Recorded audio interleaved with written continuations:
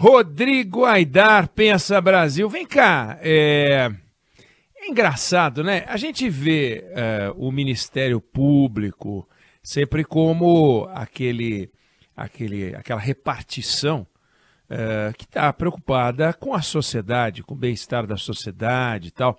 E é muito estranho quando a gente vê o Ministério Público preocupado com o seu próprio é, bem-estar. Então a gente noticiou aqui, é, o Fábio França noticiou há pouco, uma história de um penduricalho bem do safado que eles, é, enfim, tão, tão conseguiram, que eles criaram, e ao mesmo tempo pintou uma outra história que o Supremo barrou.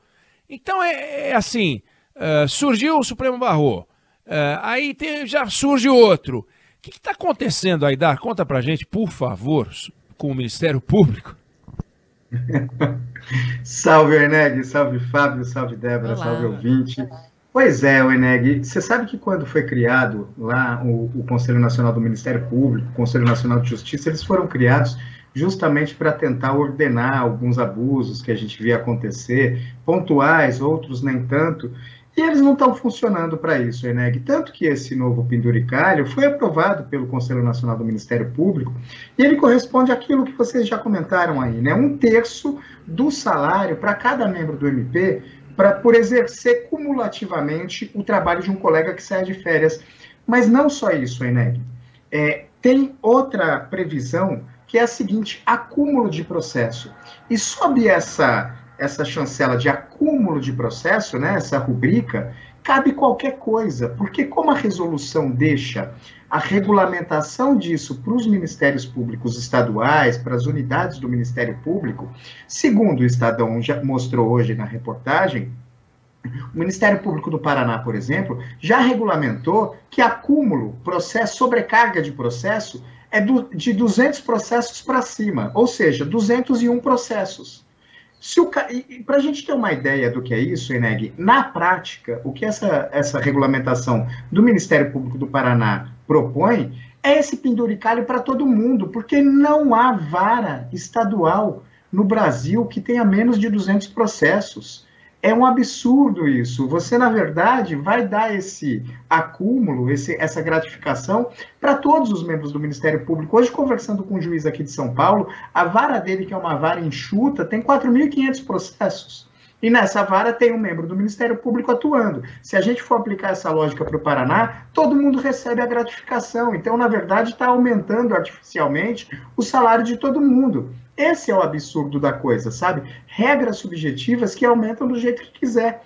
E o Ministério Público tem admitido certas práticas que não são razoáveis. O Ministério Público de São Paulo havia dado licença remunerada para um promotor e uma, um procurador e uma procuradora, ou seja, dois membros do Ministério Público em segunda instância, concorrerem às eleições sem deixar o cargo. Ou seja, o sujeito tem a estabilidade no cargo, concorre recebendo salários integrais. E, Oneg, é, é muito perigoso isso, porque se o sujeito perde, vamos imaginar, o sujeito se licencia recebendo salários, concorre às eleições contra o Eduardo Eneg.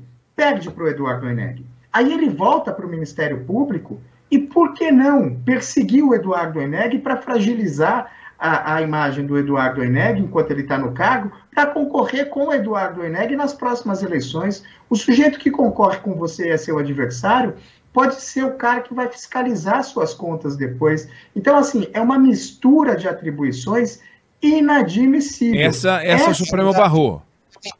Essa é o Supremo barrou, exatamente. Barrou. Essa é uma liminar do ministro Gilmar Mendes, essa semana, ou, comece, ou finalzinho da semana passada, barrou. Não, não pode. Agora, Eneg, o absurdo está no seguinte: não precisaria ter barrado, essa autorização não poderia ser dada, porque Sim. o Supremo já se manifestou sobre isso. Tanto que uma reclamação foi apresentada direto para o Supremo Tribunal Federal, porque o Supremo, em uma outra ação, já disse que membro do Ministério Público não pode exercer atividade Agora, político-partidária. Deixa eu te perguntar uma coisa. É, bom, é, é aquilo, né? Você já trouxe essa história várias vezes aqui.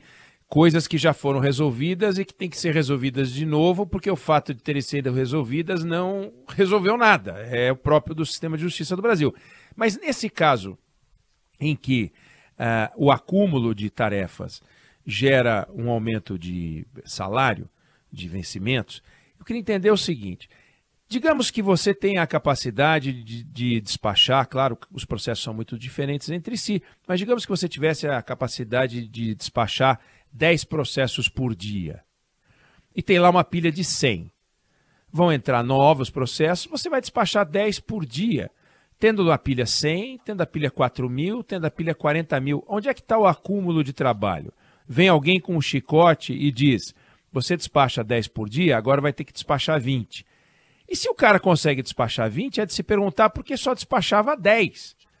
Então, o, qual é a relação entre a produtividade e o estoque? Eu não consigo entender. Vamos fazer um terno, nós somos alfaiate agora. Aí chega lá uma tonelada de tecido. Isso é acúmulo de trabalho? Não. Não é acúmulo de trabalho, é acúmulo de tecido no estoque. Se tiver um monte de estoque, por que, que é acúmulo de trabalho? Eu queria entender. Você sabe me explicar, Ida? Olha, Neg, infelizmente não.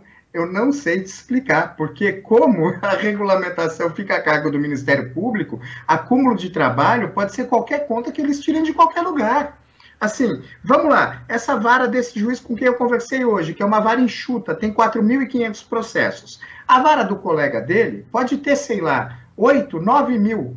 A gente vai dizer que a vara que tem 9 mil tem trabalho acumulado, ou a gente vai dizer que o juiz da vara que tem 9 mil não está fazendo o seu trabalho direito, porque se é possível ter uma vara com 4.500, por que, que naquela outra vara tem 9 mil? E por que isso é acúmulo de trabalho e não preguiça? E não estou dizendo que é preguiça. Estou dizendo o seguinte: é muito difícil você, com base nesse seu raciocínio, estabelecer o que, afinal, é acúmulo de trabalho. Pode ser acúmulo de trabalho você ter que, nas férias do colega, assumir a, a, a o trabalho dele. Isso é um acúmulo de trabalho, não é um trabalho que está sob a sua responsabilidade e te deram a mais. Mas aí, Oineg, você estabelecer para isso um terço a mais do salário, de 33 mil reais, 35 mil reais, um terço a mais, por é, é, você acumular temporariamente o trabalho do colega que saiu de férias, a administração tem que prever outras formas. Mas, Aidar, de... é, é, é, eu, eu, concordo com você. É, eu faço o seu trabalho nas suas férias, mas também quando eu volto de férias, eu não tenho trabalho para fazer, porque você fez o meu. Então, no fundo, houve uma troca de tarefas uh, remunerada com mão de obra. Uh, e não precisa ter o pagamento, porque eu tiro uma vez as férias por ano e não faço 11 vezes o trabalho, 11 meses o trabalho dos outros. Ou seja, e, e também eu sou beneficiado. Eu acho que tem uma malandragem, é, claro que tem, do contrário você não teria trazido essa história aqui, do contrário o Fábio França não teria lido. É, é evidente que tem uma história marota, mas é uma forma muito da, da especial, é, muito da corporação, poder público, de ficar fugindo da, da lógica do trabalho normal. É, porque todo mundo, o Fábio França estava lembrando, ele vai sair de férias segunda-feira, a Débora Alfano e ele dividem a leitura das manchetes, ela vai ler as manchetes do Fábio França, vai receber um terço a mais de salário. A, a Débora, aliás, já ficou a favor dessa medida depois que o Fábio França deu esse exemplo, tá? Mas, tirando uhum. a Débora Alfano, vamos combinar? É absurdo, né?